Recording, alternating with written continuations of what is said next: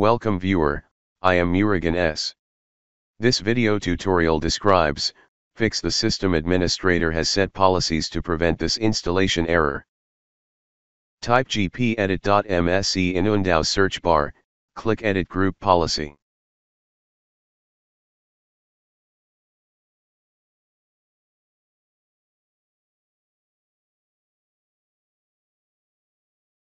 Click and expand administrative templates under computer configuration. Click and expand Windows components. Click Windows Installer.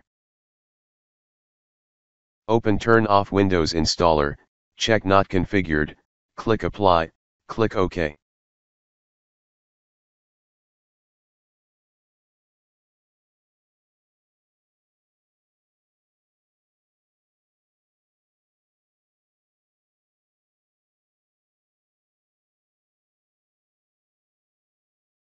Type gpupdate slash force, after update restart system.